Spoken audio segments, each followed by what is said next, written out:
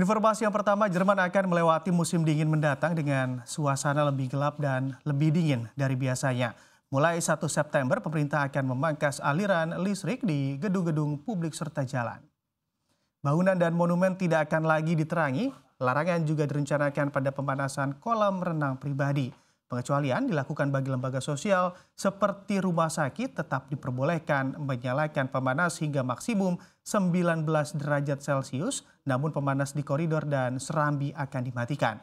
Pemerintah juga akan memprioritaskan transportasi energi di bagian dari jaringan kereta api. Upaya tersebut dilakukan untuk menjaga cadangan gas negara akibat pemangkasan aliran gas oleh raksasa gas Rusia, Gazprom, sebesar 20 persen. Jerman mengatakan pemangkasan pengiriman pasokan gas merupakan motif politik Rusia sebagai balasan dari sanksi Eropa terhadap Rusia atas invasinya ke Ukraina. Pemerintah berharap pembatasan ini dapat mengurangi penggunaan gas sekitar 2 persen.